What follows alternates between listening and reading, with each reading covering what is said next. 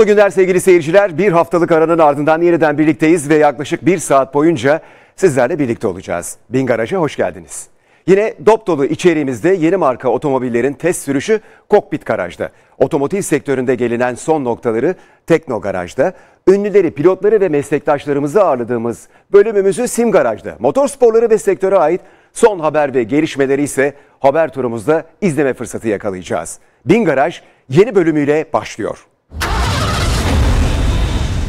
Muhteşem teknolojileriyle dünya ekonomisine her dönem damga vuran Japonya gelenek ve göreneklerinden asla taviz vermiyor ve bunları teknolojiyle birleştirmeyi de otomotiv sektöründe de başarıyla yapıyor. Daha önceki bölümlerimizde bahsetmiştik. Dünya otomobil sektöründe en çok araç üretimiyle ikinci sıraya yerleşen, çıkardığı modellerle her kesime seslenen bununla da yetinmeyip 90'ların başında kendi iç pazarına değil de Amerika yaşamına uygun bir markayla sektöre damga vuran ve bu markayı 2000'li yılların başında dünyaya ve kendi ülkesine sonradan pazarlayan bir Japon markası bu kez hibrit yapısıyla yine sektörde adından fazlasıyla bahsettirecek gibi görünüyor. Birlikte izliyoruz.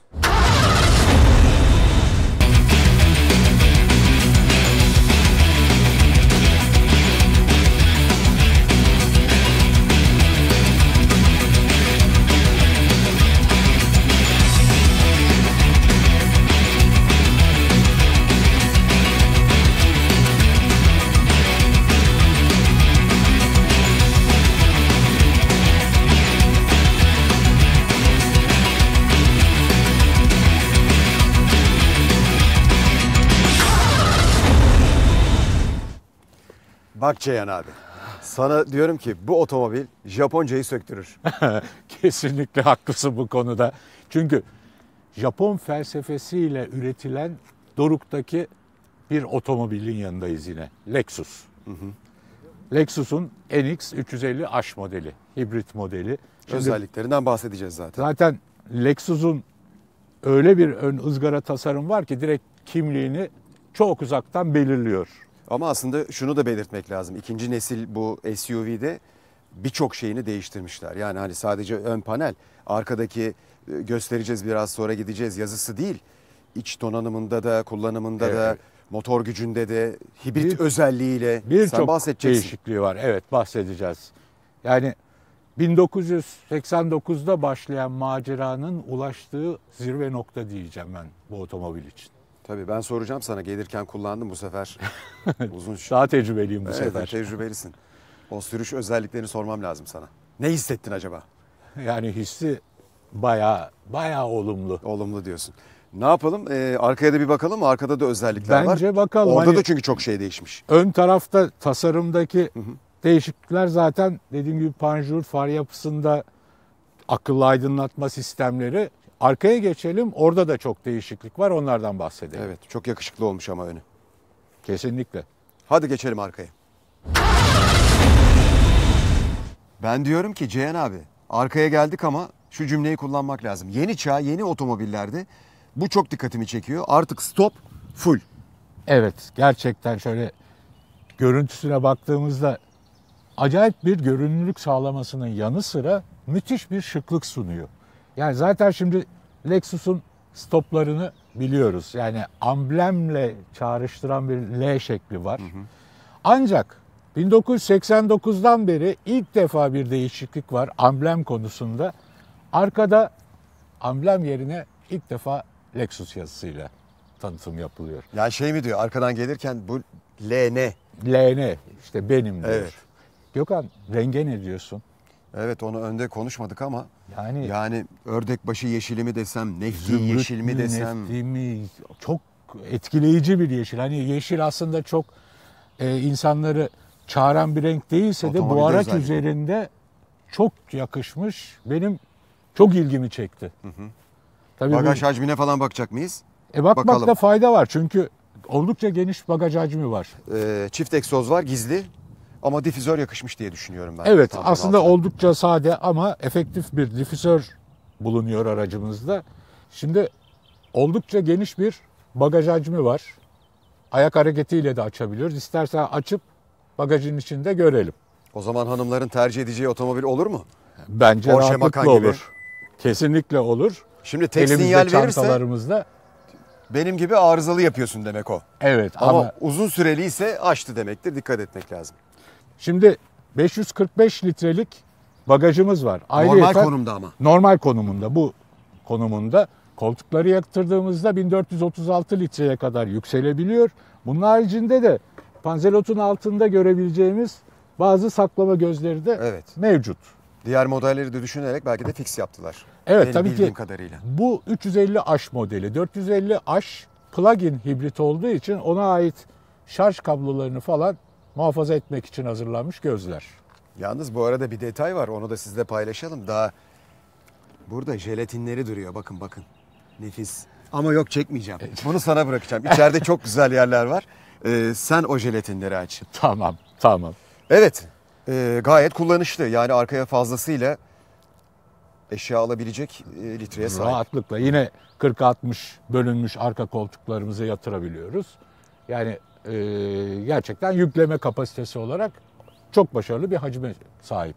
Gökhan bagajımızı kapatıp bir an önce aracın içine geçelim ve yolumuza çıkalım derim ben. Merak ediyorum gerçekten Tabii, o- keyifli. Senin de hislerini ben dinleyeceğim bu Mesele sefer. yerine gelirken kullandın tabii. Paylaşacağın çok şey var diye düşünüyorum. Evet, evet, evet. Yumuşacık bir otomobil. Evet. Haydi o zaman.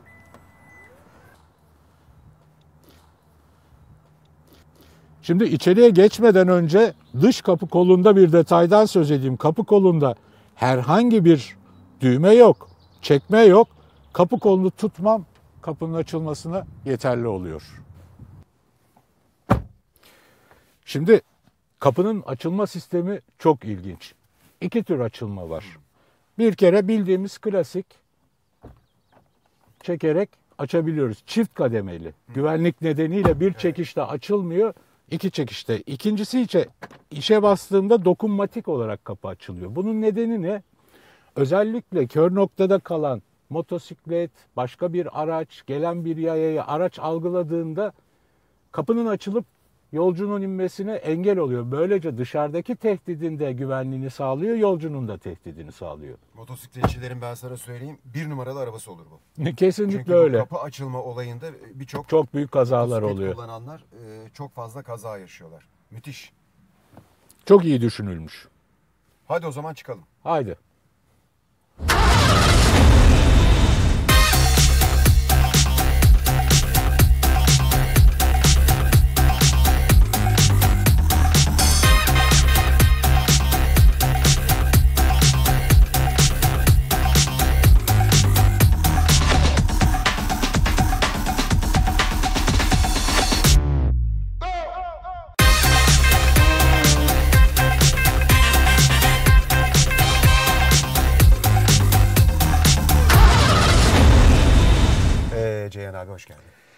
Yine çok hoş buldum içini Gökhan Lexus NX renkleriyle, tasarımıyla, özellikle ön kokpit tasarımı.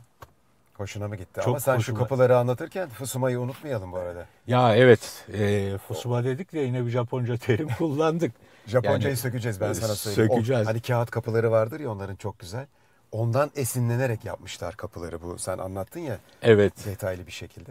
çok kolaylıkla kullanım yani yormadan gerçekten güzel, rahat kapanan, rahat açılan ve emniyetle açılan bir kapı sistemi. O zaman yavaş yavaş çıkalım. Bak Evet. şu power'ın güzelliğini görüyor musun? Hiç aramana Ya. gerek yok. Bak direkt Gözümün önünde, gözümün parmağımın önünde. altında. Şahane. Tam benlik. Nefis. Şimdi biliyorsun aracımız hibrit.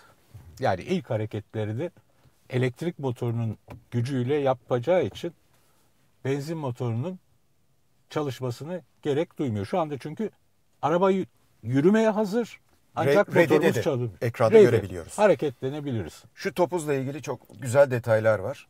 Başta ben bir aradım ettim ama e, yani bir tuşu yok. Hafif kendinize çekerek e, değiştirebiliyorsunuz konumlarını. Ama bu arada ekranda uyarı gelmesi de benim işimi kolaylaştırdı. Hani katalog gibi. De- Değil mi? Evet. Orada da gösteriyor sana. Evet. Şöyle avuç içinde çok rahatlıkla hareket ettirilen bir topuz yapılmış. Kalkışta hiç ses yok. Dediğin gibi hibritle kalkıyor. Daha sonra motoru devreye sokuyor ve müthiş bir sürüş var. Hemen çok kısa şeyden bahsetsene Ceyhan abi. Sen kullandın buraya gelirken bu mesire alanına, Göztepe Tabiat Parkı'na. Yani Sana verdiği hissiyat ne? Şimdi araç bir kere senin kullanımın eğer yumuşaksa, soft diyeyim gerçekten soft. Çok rahatlıkla kullanılıyor. Yol hissiyatı mükemmel. Ama araçta korkunç da bir performans var. Yani gaza bastığın anda da bunun karşılığını o kadar hızla veriyor ki sana kullanıcıya. E, bir de aracımız hibrit teknolojinin getirdiği 4x4 özelliğine de sahip. Yani hem ciddi hacme sahip 2,5 litrelik bir benzin motorumuz var. Hem bu motoru tahrik eden hem de arka tekerlekleri tahrik eden elektrik motorlarımız var. Onun için dediğim gibi hem elektrik gücünü kullandığında, yumuşakça kullandığında çok yumuşak bir karşılık veriyor. Güç aradığında da gücü veriyor sana. Onu da hissettiriyor sana çok Yani güzel. Çok net hissediyorsun. Bunun yanı sıra tabii ki viraj dönüşlerde adaptif süspansiyonun getirdiği kabiliyeti çok yüksek. Aracımız bir SUV neticede bildiğimiz binek otomobillere göre daha yüksekte bulunan bir konumdayız. Buna rağmen hani zorlanmadan virajları dönebiliyor. Şimdi burada normal dönüş kabiliyetini test edeceğiz. E, 4.7 metre uzunluğunda bir araç çok rahatlıkla Testten geçti mi? sınıfı geçti. A+. diyelim. Ama sen e, daha önce tarihinden bahsetmiştin ama o teknik donanım anlamında o Japonların elinden geçen o kadar çok detay var ki o ellerinin dokunuşları ile onlardan da bahsetmek lazım seyircilere. Kesinlikle ondan söz edeceğim. Şimdi daha önce tanıttığımız RX modelinde tarihinde uzun uzun bahsettik. Yani çok uzun bir tarihi olmamasına rağmen çok hızlı bir gelişim ve tercih markası haline de gelmiş. Şimdi bunu nasıl sağladı? Yani şimdi Lexus markasına özellikle bir araçlar sadece Japonya'da üretiliyor. Üretildiği fabrikada çok özel ekipler tarafından test ediliyor. Şimdi normal ekipler var. Bir de takumilerimiz var. Şimdi takumi deyince hani biz de ustabaşı deyip geçeriz. Ustabaşılığının çok ötesinde yeteneklere ve bilgiye sahip kişiler. O zaman özel yetiştiriliyor onlar. Çok özel yetiştiriliyor derken 25 senelik bir tecrübeye sahip oldukları takdirde ve de gerekli e, sınavları verebildikleri takdirde takumi ünvanını kavuşuyorlar. Ancak bu sınavlar öyle yazılı kağıt üzerinde sınavlardan söz etmiyorum. Dokunma, hissiyat, göz, koku, kulak bu bunlardan sınava giriyorlar. Her bir takuminin üretim bantında çalıştığı sürenin 2 saatle sınırlı olduğunu hatırlatayım ben. 2 saatin sonunda mutlaka dinlenmek ve duyularını tekrar e, tazeleştirmek zorunlulukları var. Onları tekamül etmezse, sınıfı geçemezse takumilik ünvanını kaybediyor. Kaybediyor. ya Yani e, 25 yıldan söz ediyoruz. Korkunç bir zaman. Yani biz de 25 senede emekli oluyoruz biliyorsun. Ancak şimdi bu insanların mesela şu kapılara dokunduğumuz zaman bile veyahut da orta konsola dokunduğumuz zaman bende bile farklı bir hissiyatı var. Senin şu anda Ya. tuttuğun direksiyon gelirken ben de test ettim. Göğüs. belli ki handmade bu. Handmade Her şeyinden belli Evet. oluyor çizgileri. şu yan döşemelerin yumuşaklığı ve temasta verdiği hissiyat. Buna da Japon misafirlik, misafirperverlik felsefesi omotenashi diyorlar. Özellikle test ediyorlar dokunarak, hissederek ve insanlara mutluluk vermesini sağlıyorlar. Müthiş. Ayrıyeten bütün bu gördüğün butonların, tuttuğun direksiyonun kullanımı için takumiler takma tırnak takıyorlar. Niçin? Kadınların da rahat kullanabilmesi, bu tuşların tırnaklarını rahatsız etmemesini tasarlayabilmek için. Yani O tasarımda o zaman şey diyebiliriz. Hiçbir detayı gözden kaçırmak istemiyorlar. hiçbir şekilde Çok titizler bu konuda. tüm aracı kullanıcılarına hitap etmesini istiyorlar. Bak tapa gaz yapıyorum bu arada. Nasıl hızlanması? Süper. Motorumuzun 242 beygir gücü var. Gerçekten hoş bir veri. E 1850 kilolukta bir aracın içerisindeyiz. Karşılığında hissediyoruz. Bunun yanı sıra aracımız yine elektronik olarak maksimum 200 kilometre süratle sınırlandırılmış durumda. Daha yüksek sürate çıkmasına elektronik olarak müsaade edilmiyor ama 0-100 kilometre hızlanmasını 7.7 saniyede gerçekleştirebiliyor. Yani 1850 kilo için de 7.7 saniye gerçekten şapka çıkarttırıyor.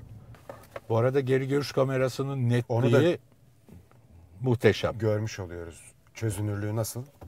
Çok yüksek bir çözünürlük var. Çok rahatlıkla seçilebiliyor tüm detaylar kameradan.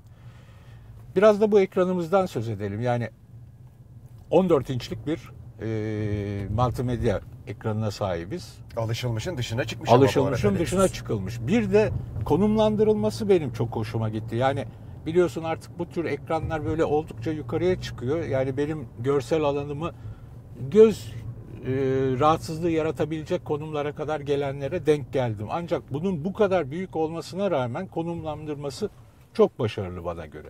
Şimdi burada her türlü müzik sistemi detaylarını kullanabileceğimiz gibi navigasyonumuz, araca ait bütün fonksiyonları da kullanabiliyoruz. Ancak bunun yanında tabii kısa yollar, koltuk ısıtma, soğutma, klima ayarları. Bir kere klima ayarlarının bizim bildiğimiz klasik düğmelerle de yapılıyor olması benim hoşuma gitti. Yani buradan da ayarlayabilirim, oradan da ayarlayabilirim. Ama Japonlar ne olursa olsun mutlaka bir yere o klasiklikten vazgeçiyor. Şu volümün düğmesine bakar mısın? Sanki Değil hani mi? 1980'lerde böyle klasik radyolar vardır ya Evet. onların düğmesini koymuş buraya. Aynen öyle. Düğme diyeceğim yani kusura bakmayın. Kesinlikle düğme bu.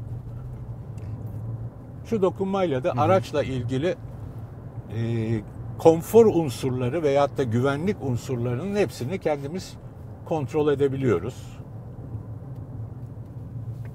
Şu anda hani onların detaylarına çok fazla girmiyorum ama Her şey var. her gene. şeyimiz var. Yine e, günümüzün teknolojisinde Apple e, CarPlay var, Android Auto var. Bunları kablosuz olarak bağlantı olarak gerçekleştiriyor. Telefon şarj cihazımız var. Yani e, yok yok yine aracımızda. Bardaklığımız var. Burada dikkatimi çeken çok güzel bir nokta daha var. Şimdi ben orta konsol açmak istedim. Kendi tarafımdan bu şekilde açıp Oh. rahatlıkla erişebiliyoruz. Ama sen kolaysa kolunu at. Değil mi? Hop, Sana da bu sana da alternatifi sunmuşlar. Çok güzel. Her iki Çok taraftan da geniş. ve çok geniş bir orta gözümüz mevcut. Hakikaten eee, yani yolcu ve sürücü için konfor unsurları, hakimiyet unsurları çok yüksek. Özellikle şimdi burada bir de Tazuna diye bir yine Japonca bir terimimiz var. Çözdün sen çözdün Ben Japoncayı. evet yakında kesinlikle çözeceğim. Tazuna neyi ifade ediyor? Dizginleri elinde tutarak kontrol etmek kökeninden gelen yani bir sürücünün direksiyonu elinde tutarak her türlü e, kontrol unsuruna rahatlıkla erişebileceği şekilde tasarımlanmış O gösterge onun için- paneli. Atı dizginlemek derler ya. Oradan esinlenmiş. Oradan Ama esinlenmişler. gerçekten bir şey söyleyeceğim. Sen de gelirken kullandın. Ee, net bir şey var. Çok pratikte. Bütün her şey elinizin altında ve çok kolay kullanım var. Ya benim hani bu yaşım itibariyle en çok aradığım şeylerden bir tanesi. Ben otomobil kullanırken dikkatim dağılmasın diye otomatikman her şeyi kolay yoldan ulaşabilip kullanabilmeliyim diye düşünüyorum. Yani şimdi yeni teknoloji otomobillerde karşımıza kontrol edilecek birçok unsur çıkıyor. Eskisi gibi bir e, far koluyla bir silecek koluyla bitmiyor veya bir vites koluyla. Onun için kesinlikle kullanıma rahat erişimin olması çok önemli.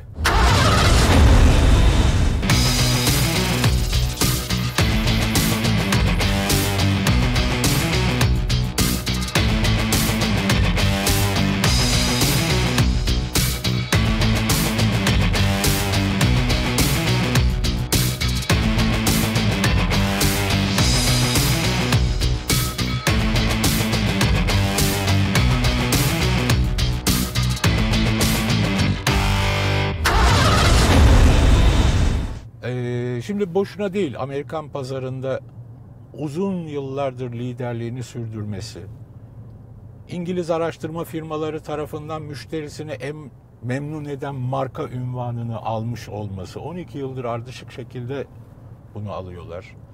E, gerçekten şimdi Türkiye'de de 2016 yılından bu yana Lexus satışa sunuldu ve müşterilerinde eminim ki büyük bir memnuniyet yarattı. Şimdi Lexus deyince çok fazla Türkiye'de bilinmiyor, tanınmıyor gibi e, düşünüyorum. Ancak hani bir Dolmabahçe'de bir de Ankara'da iki adet showroom'u var. Fakat iki adet showroom var derken 60 tane servis noktası var. Tüm Toyota bayilerinin yetkili servislerinde Lexus araçlara servis hizmeti veriliyor. Evet. 3 yıl 100 bin kilometreye kadar garanti veriliyor. Hibrit bir otomobildeyiz diye söz ettik. Bataryasına 5 yıl garanti veriliyor. 12 yıla kadar korozyon, paslanma, saçlarda, saç aksamda delinmelere karşı garanti veriliyor. Yani hiçbir şekilde hani ben bu arabayı aldım, nerede ben bunun servisini, hizmetini alacağım gibi bir kaygı olmaması lazım. Toyota bünyesinde satışa sunulduğu için yani Lexus showroomları ancak Toyota'nın kendi bünyesinde yapılıyor satışlar. Toyota'nın bütün gücü Türkiye'de yaratılmış olan gücü Lexus'un arkasında. Bunun çok önemli. tabii- Yani alıcıların hepsi buna çok önem veriyor aslında otomobil kullanıcılar. Yani bana verilen servis nedir? E, Türkiye genelinde. yani. Ben buna bakıyorum. Yani bozulmaz bozulmaz da lazım. e, mecburuz. E, ister otomobil ister cep telefonu yani aldım bitti değil. Yarın bir şey olursa ben ne yapacağım kaygısı Evet. bu- bugünkü her üründe var. Onun için hani bunu özellikle belirtmek istedim. Bunun yanı sıra da tabii ki Lexus müşterilerine çok özel ayrı hizmetleri de bulunuyor. Yani servis için evinden alıp servis sonrasında evine teslim edilmesine kadar yolda kalma durumunda özel hizmetleri var. Yani e, kesinlikle premium bir markanın gerektirdiği tüm unsurlarıyla birlikte marka Türkiye'de var. Evet. Bunu belirtmek isterim. Ayrıca detayı kaçırmayalım. Çok güzel e, direksiyon kulaklıkları var. Direksiyonla beraber hareket ediyor. Bütün konumu buradan idare edebiliyorsunuz. Şu anda mesela normal konumda gidiyoruz. O e, hani tuş da çok kolay bir yerde. Eko, Ekonomik, sport, spor, bastığınız zaman normal. Normal. Ama bu arada offroad konumu ayrı bir yere konmuş. Belki olur da hani karıştırırız diye mi yoksa bilmiyorum. Evet ayrı bir düğme. Yani e, gelişi güzel kullanmayın gibi yani çok özel durumlarda bunu kullanın gibi buraya ayrı bir düğme olarak koymuşlar. Artı EV tuşumuz var. Aracın sadece ve sadece el- elektrik gücüyle hareket etmesini sağlamak için belli bir hız limitine kadar ki bu da yani e, oldukça yüksek sınıra kadar sadece elektrik motorlarıyla da gidebiliyor. Evet. Ancak tabii ki yani hibrit olduğu için batarya kapasitesi elektrikli otomobiller kadar yüksek değil, kısıtlı bir mesafe içerisinde faaliyeti gösteriyor. Ama o geçişler falan hani kalkışta önce elektrikliyle başlayıp motora geçiyor. Hiç fark ettirmiyor. O kadar sessiz ve güzel çalışıyor ki sistem. E, bunun yanı sıra tüketimi de e, yani gayet iyi sayılır. Yani şöyle baktığımda ortalamada diyeceğim 7.2 litre gibi bir veri vermişler. 2.5 litre motorlardan söz ediyoruz. Yani e, eskiden bizim bildiğimiz 2.5 mi- litrelik bir araç kullandığımızda arkadan da bir kamyonda tankerin gelmesi gerekirdi. Halbuki artık bu araç öyle değil. Değil. Sunroofu falan çok şık çalışıyor. Kameralarımız olduğu için şimdi hani size gösteremedik ama benim dikkatimi çeken bir başka unsur da yan camların açılışı ve kapanışı. Ne diyorsun? Dikkatini çekti mi? Evet yani çok hızlı bir açılmaya başlıyor fakat son noktasına doğru müthiş bir yumuşaklıkla yavaşlayarak kapanıyor. Böyle hafif yavaşlıyor. Sonrasında kapanıyor ya da açılıyor. Çok enteresan. Hızlı geliyor. Hop yavaşladı kapandı. Nefis. Ön tarafı biz konuşurken bir de Panjur'un ön tasarımından bahsederken sonradan benim aklıma ne geldi biliyor musun? Eski Japon savaş, savaşçıları vardı, samuraylar. Onların giydiği zırhlı kıyafetler vardı. Biraz etek yapısı gibi. Onların tasarımı gibi ızgara yapısı. Sen de ona Sonradan benzettin? bakınca evet ona Biz benzettiler. birço- birçoğunu benzetiyoruz biliyorsun. Yarasaydı yok. Kaplumbağaydı bilmem. Hayvanlara ben benzetiyoruz. de samuray zırhına benzettim diyeyim. Evet. Ee, gerçekten hani kullanılan renkler, kombinasyon, içerideki e, lüks diyeyim e, konum beni gerçekten cezbetti. Ne dersen de. Yani evet. e, Bilmiyorum şöyle bakınıyorum etrafıma hani anlatacağımız daha çok şey var gibi görünüyor ama. Ya arkadan hiç söz etmedik. Arka tarafta gayet konforlu, rahat, diz Çok aralığı rahat, çok evet. yüksek.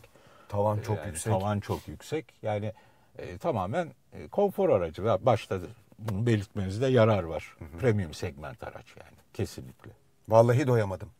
Bu sefer sen de doyamadın. Doyamadım. Hani D'yi de ekleyeyim ben zaten doyamadım da sen de doyamadın.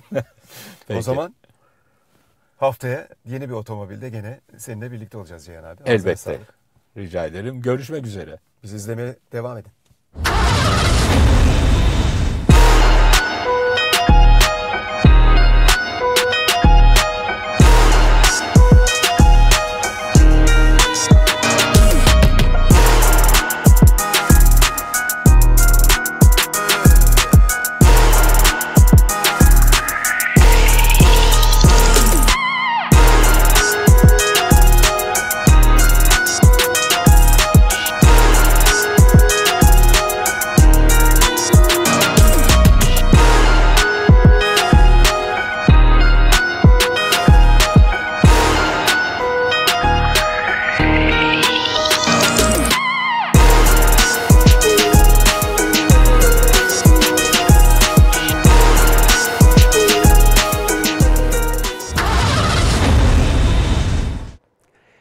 Lexus NX ile yaptığımız bu test sürüşü sizleri umarım yeteri kadar faydalı olmuştur ve bilgilendirmiştir. Sırada endüstriyel tasarım uzmanı Enes Eller'le yaptığımız ve daha önce 5 bölümde dillendirdiğimiz otomobil geometrisine ilişkin detaylarla Tekno Garaj bölümümüz var sırada. Bir kere viraj demiri ne işe yarıyor? Otomobilin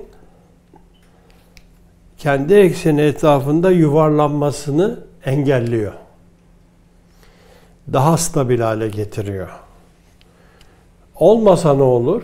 Bir şey olmaz, otomobil gider. Fakat çok yatar. Ee, ve Denge, denge sorunu mu yaşar? Hayır, denge sorunu yaşamaz. Viraj demiri şöyle çalışıyor. Öbür tekerlekten destek alıyor.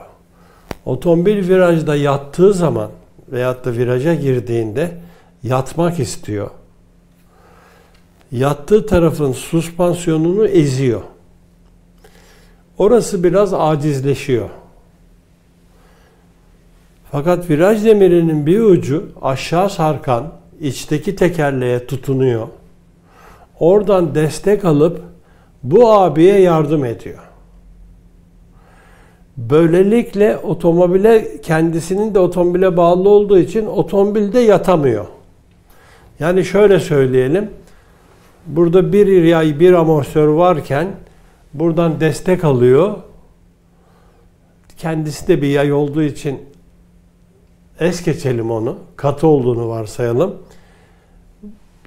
Ezilen taraf iki yay, iki amortisör oluyor birdenbire. Gücü çünkü oraya aktarıyor. Aktarıyor, evet. Yani tekerlekleri birbirine bağlayan bir bar.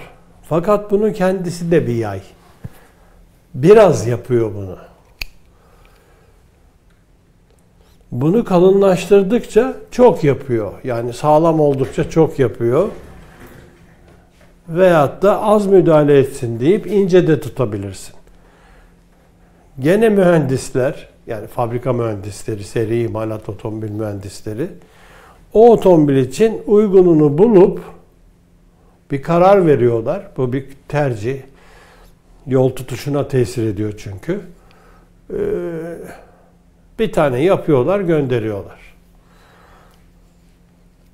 Bu viraj demiri otomobilin yatması ve yuvarlanmasıyla alakalı geçen programlarda bahsettiğimiz tekerleğin yere daima 90 derece basması yani radyal lastiklere geçip yuvarlaktan tek nokta değmekten lastiğin bütününü kullanalıma giden hareketin sonucu otomobillerde gerekli oldu.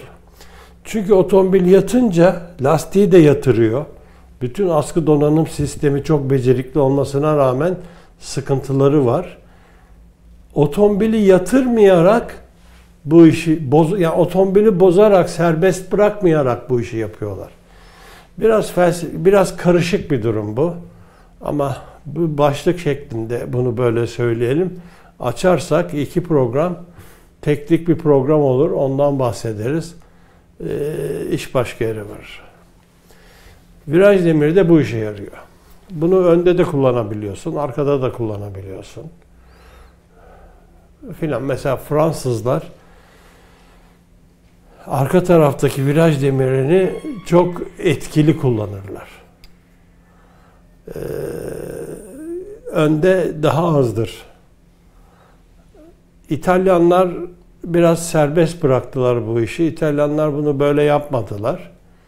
Neden Fransızlar İtalyanlara geçtim birdenbire? Evet şöyle.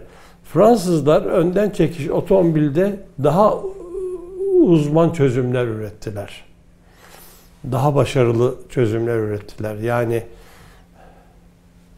e, önden çekiş otomobil kültürü onlarda çok eski. Lastik de yapmaktan gelen yani o Michelin hareketi o 100 senelik bir hareket. Bütün bu kültürlerin iz düşümünde e, önden çekiş otomobil çok yaptılar ve başarılılar. İtalyanlar da şimdiki işi biraz oraya getirdi. Biraz da ihtiyaçla alakalı herhalde. Yani onu ihtiyaç hissettikleri için viraj demiri çalışması yaptılar ama biraz farklı diyorsun. İtalyanlar farklı, Fransızlar farklı. Aradaki fark ne? Fransızlar arka tarafı yatırmadılar. İtalyanlar senelerce serbest bıraktılar. Biraz klasik e, temayülle davrandılar. Şimdi önden çekiş otomobilde ne işe yarıyor viraj demiri bir ona bakmak lazım o zaman yani. Günümüzün otomobillerinin büyük bir kısmı önden çekiş otomobil olduğu için bununla ilgili belki birkaç bir şey söyleyebiliriz. Ya, standart otomobillerde hiç ellenemiyor. Ee, Suspansiyon sistemi ne kullanıyorlar arkada? Önemli değil. Dingil veya bağımsız suspansiyon. Kimisi MacPherson kullanır, kimisi çift salıncak kullanır falan yani. Yani yol tutuş iddiası olan markalar çift salıncak, mesela Honda çift salıncak yapıyor, yapmaya çalışıyor bütün bütün segmentlere bunu yaymaya çalışıyor. Üst rotili tekerleğin üstüne doğru getiren çok dikkat edilirse çok tuhaf bir aks taşıyıcısı var. Bagajın içine girmemek için. Farklı bir bağlantı kullanmış. evet, hepsi e, arkayı çift salıncak yap, yaptılar. Çoğu yaptılar. Bazıları yapmadı. Enes abinin hoş sohbetine ilerleyen bölümlerimizde devam edeceğiz tabii ki. Otomobil sporlarında pilotların antrenman tekniklerine dair pilot antrenörü Sertu Erdoğan Hoca kas gruplarının çalışmasına ilişkin 6. bölümde bakın hangi detayları paylaşıyor.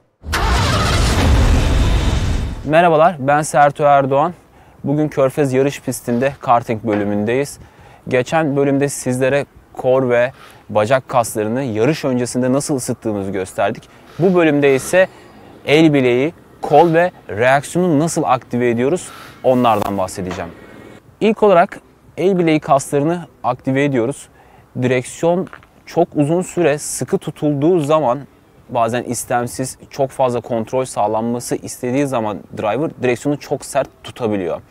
Bu da el bileğinde çok ciddi yorgunluklara sebep oluyor. Bunun uzun süre dayanıklılığı sağlayabilmek için kasların hızlı tepki verebilmesi için kasları yarışa hazır hale tutabilmek için aktive ediyoruz. Evet, el bileğimizi yavaş yavaş yuvarlıyoruz.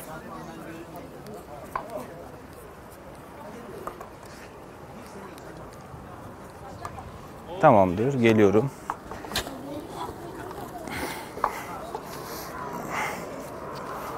Tutuyorsun lastiği. Kollarını yana aldın. Şu geriye doğru büküyorsun. 1 2 3 6 Başını kaldır.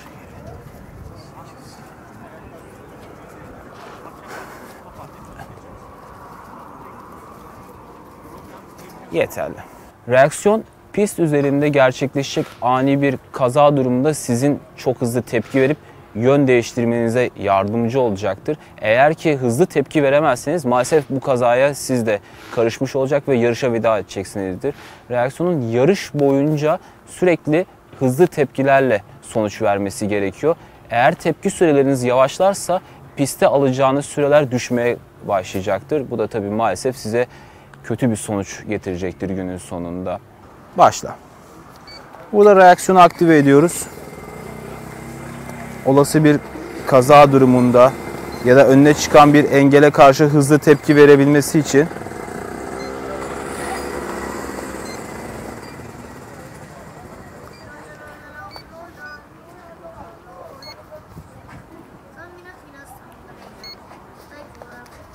Bugün sizlere el bileği kaslarını ve reaksiyonu nasıl aktive ettiğimizi gösterdik. Bir sonraki bölümde görüşmek üzere. Hoşçakalın. Sırada her zaman olduğu gibi simülasyon koltuğunda misafir ettiğimiz konuklarımızla sohbet bölümümüz Sim Garaj var.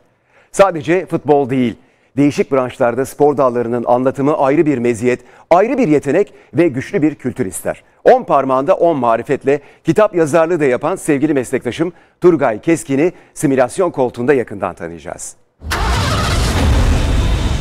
Merhaba, Sim Garaj'a hoş geldiniz. Bugün başka bir bölümümüzde Turgay abi var. Turgay abi nasılsın? Teşekkür ederim sen. İyiyim ben de. Ben heyecanlıyım. Bakalım neler yapacaksın. Ee, merak ettiriyorsun beni de. Aynı zamanda burada biliyorsun ee, bir Gözümü diktim o tabloya şu Evet. an. Ee, Aslında var ilk hedefim mı? Cihan. Cihan.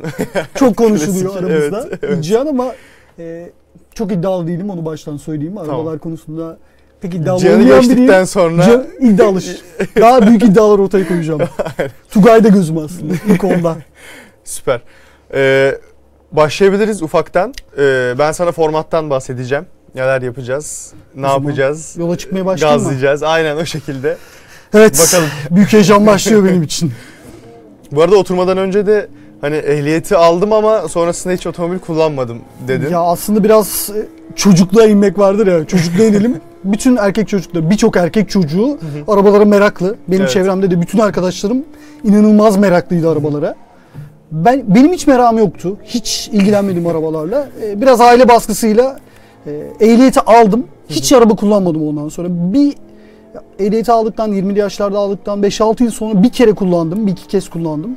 Bir uzun yolda kullandım hatta Kayseri civarında. Sonra pek etkilemedi beni bu araba. Hatta çocukken hani klasiktir. e, Çocuklar babalarının arabalarını kaçırır. Benim babam ilk araba aldığında eve geldi hatırlıyorum. ben evde oturuyorum ve araba kapıda duruyor. Aşağı inip bakmadım bile arabaya. Babamla tartışmıştık. İnsan merak eder dedi. Bu kadar meraksızsın. O yüzden hiç merak etmiyorum arabaları şu ana kadar ama oyun biraz heyecanlı tabii benim için. Evet. Bakalım. Ee, Cihan'ı geçebilecek misin diyeyim zaman. tek hedefim şu an. Çünkü hep konuşuyoruz. Herkes geçti onu. Evet. Ben geçemezsem ayıp olur. Bir de bunun tabii Can arabayı da normal hayatında çok fazla kullandığı için ve ben kullanmadığım için bunun dalgasını çok geçeceğim onunla. Verirsem.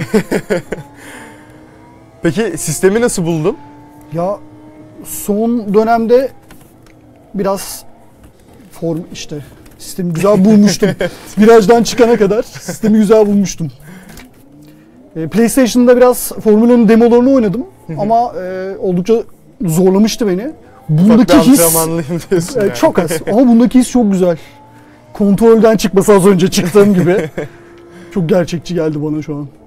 Ben de sorulara başlayayım bu sırada. Evet. Ee, senin dikkatini dağıtmaya çalışacağım bir Hiç yandan. dağılmıyordu Çünkü- zaten. Bakalım.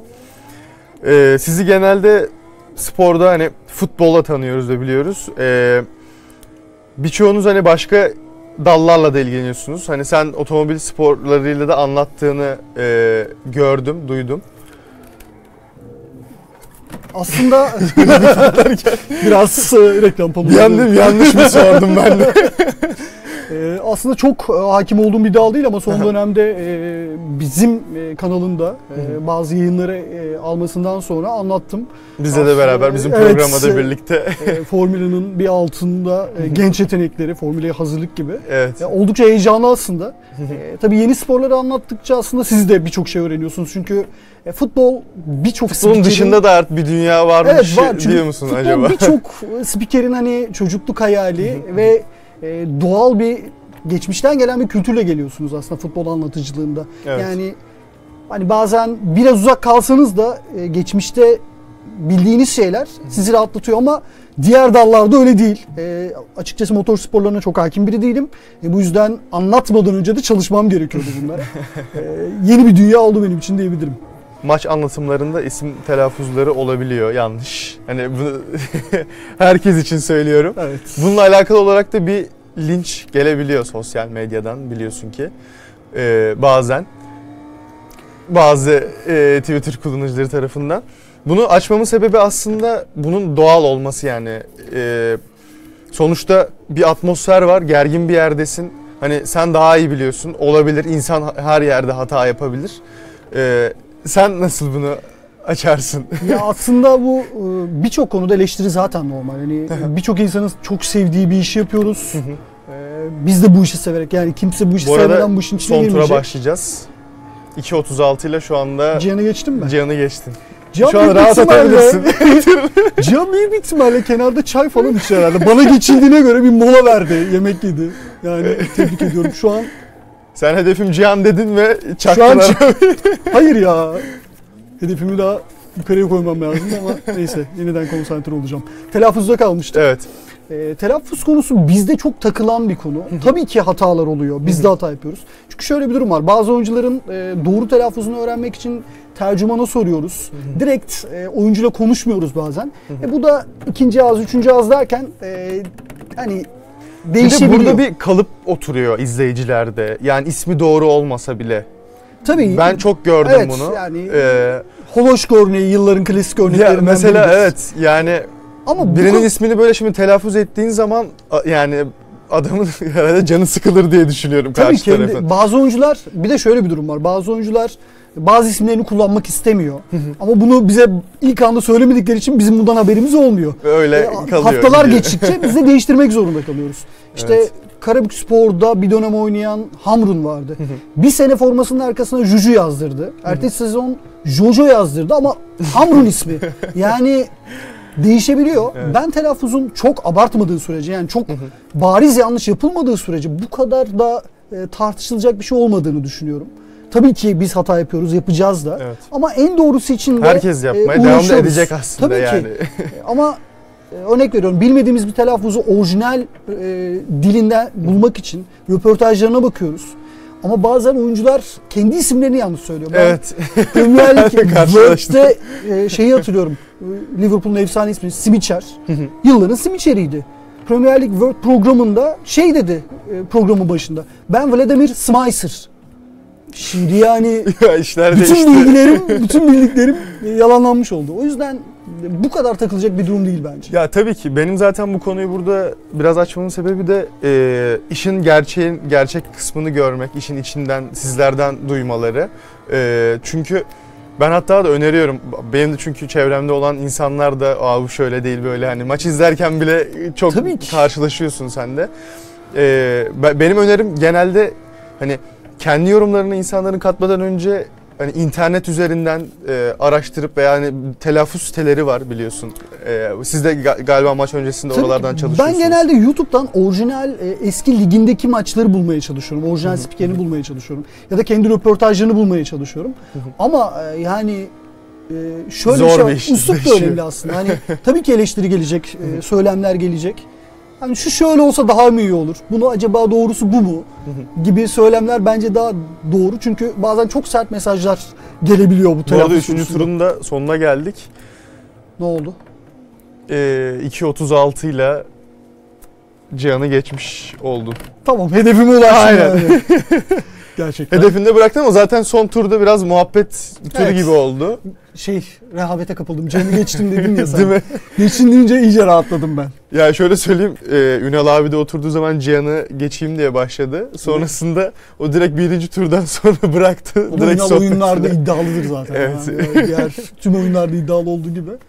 Burak, Burak Ölmez'in performansı da gerçekten. Senin için de farklı bir deneyim oldu. Evet. E, o gazı da biraz verdik sen herhalde. otomobille Oynamaya devam edeceğim galiba. Bayağı hoşuma gitti gerçekten. Çok teşekkür aldım. ediyorum. Ben teşekkür E, ediyorum. kırmadın bizi. Burada e, güzel bir program yaptık. Cihan'ı da geçmiş oldun. Hedeflediğin gibi. Şu Tebrik an ederim Bir hafta seni de. boyunca Cihan'la uğraşacağım.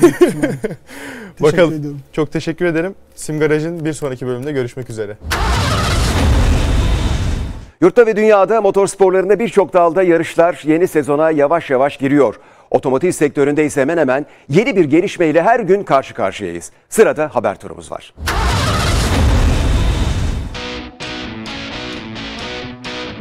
İtalya'nın Imola kentiyle aynı adı taşıyan 4,9 kilometrelik pistte gerçekleştirilen yarış 63 tur üzerinden yapıldı. şampiyona lideri Ferrari pilotu Charles Leclerc, yağmur altında verilen startta ikinciliği Red Bull pilotu Sergio Perez'e kaptırdı. Yarışa dördüncü sıradan başlayan diğer Ferrari sürücüsü Carlos Sainz'la Daniel Ricciardo ile yaptığı temas sonucunda ilk turda yarış dışı kaldı.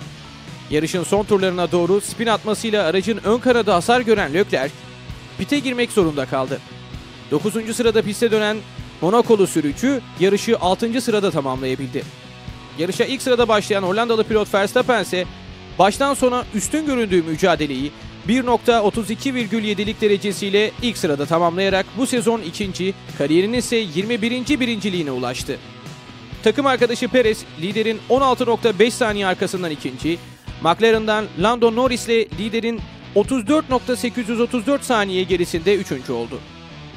Bu yarışın ardından Leclerc şampiyonadaki puanını 86 yaparken Verstappen ise 59 puanla pilotlar klasmanında ikinci sıraya yükseldi. Kariyerinde 7 şampiyonluğu bulunan Mercedes'in Büyük Britanyalı pilotu Lewis Hamilton ise 14. sıradan başladığı yarışı 13. sırada tamamladı. Sezonun 5. ayağı Amerika Birleşik Devletleri Grand Prix'si 8 Mayıs Pazar günü yapılacak. Maserati'nin A6500'de başlayan Gran Turismo efsanesi 75 yaşında.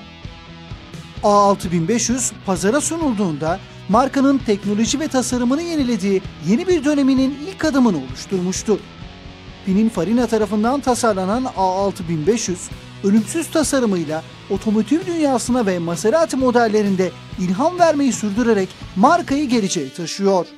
Maserati, A6500'de başlayan Gran Turismo yolculuğuna 2023 yılında pazara sunulacak olan ilk tamamen elektrikli otomobili Gran Turismo'nun yeni neslinde de zarafet ve yüksek performans özelliklerine sadık kalacak.